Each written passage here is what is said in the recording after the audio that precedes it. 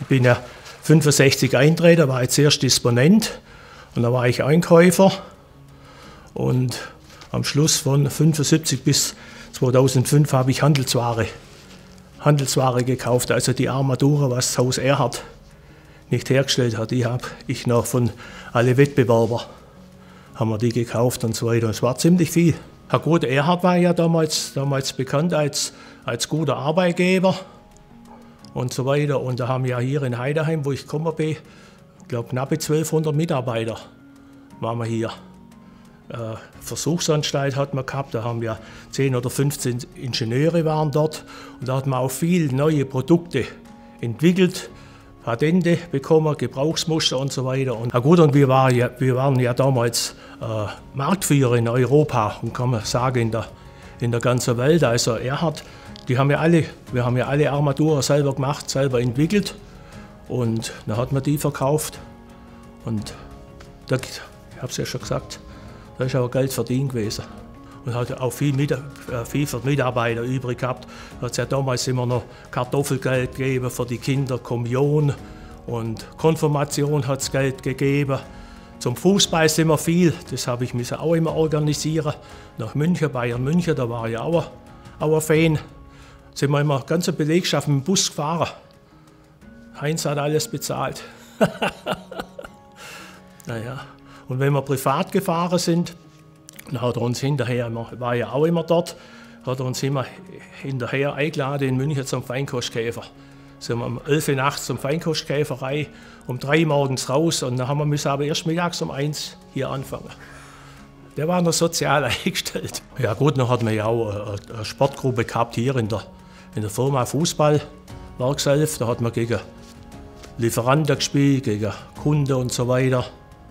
Und dann hat man einen, einen Pokal ausgespielt vom, vom Skat und so weiter. Da war ich Schiedsrichter und so weiter. Und das ganze Ding, ja gut, habe ich ja schon gesagt, war ein Mädchen, Mädchen für alles. ja, die, die, die Chefs, die waren auf Vertriebsreise. Ja, in der, in der ganzen Welt, Südamerika, Afrika, im Iran da hat man viel früher gemacht. Ja gut, und da hat Geschäftsleitung auch viel viel Wert drauf gelegt und so weiter, wenn Geschäftsbriefe raus sind oder Bestellungen und so weiter, hat einfach kein Schreibfehler drin sein. Ja gut, äh, ganz, ganz früher hat ja alles, jede Bestellung der Chef unterschrieben. Der hat ja Berge gehabt von Postmapper, der Einkaufschef. Und äh, gut, wo ich nach, nachgekriegt bin und so weiter, Stellvertreter war und so weiter, habe ich gesagt, das kann ja nicht sein. Eine Bestellung, da hat man ja noch nicht viel per E-Mail rausgegeben und so weiter, kann ja nicht sein, dass man Bestellung wegen 50 oder 100, 100 D-Mark, dass die der Chef unterschreibt. Und da hat man so Dinge gesetzt, äh, so Staffel und so weiter, bis 5000 unterschreibt der, bis 50 der, ab 100 das. Und dann hat auch Geschäftsführung, haben dann bloß noch Aufträge, sehr wohl über 200.000 D-Mark, wo man nach Hause vergeben hat. Oder noch Bausachen, wenn man große Maschinen kauft hat, das hat auch noch die, die Dinge unterschrieben. Ja gut, da liefen die Geschäfte schlecht, ging der Umsatz zurück und so weiter. Und da, dann hat man auch kein Geld mehr gehabt, hat müssen äh, Geld aufnehmen, für die Lieferantenrechnungen bezahlen und so weiter. Und dann haben halt am Schluss die Banken nicht mehr mitgemacht.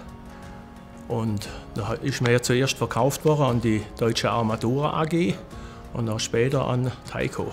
Das war nicht, nicht gut, wo man das verkauft hat. Da ist schon da ist schon Misstrauen aufgekommen und so weiter, haben sie gesagt, was ist, was ist jetzt da los und so weiter. Aber gut, hinterher hat man auch erfahren, dass am Geld geklemmt hat und so weiter und da ist uns nichts anderes übrig geblieben. Naja.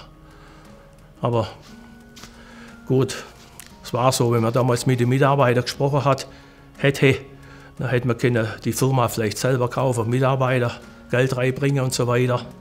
Aber das, das hat man alles nicht wollen damals. Ah, nee, dass, dass die Mitarbeiter die Firma gekauft hätten, dann wäre praktisch jeder Teilhaber gewesen. Dann habe ich Dienstleistungsfirma, habe ich für mich gearbeitet, auch, auch für andere Firmen ein bisschen was gemacht und dann habe ich hier im Haus die ganze Sache organisiert, Kundentage, Lieferantentage, Weihnachtsfeier, Eiweihungen und so weiter. Und da habe ich auch, auch Arbeit gehabt, das ganze Jahr über.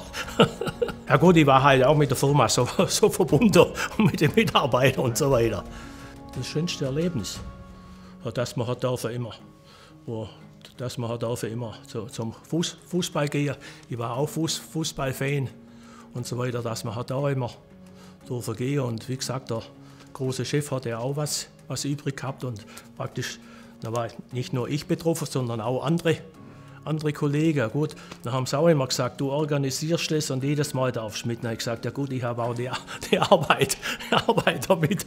Ich gesagt, das nächste Mal organisiert es organisieren sie hier. Ja gut, und das war bei uns in der Abteilung auch immer, auch immer äh, schön.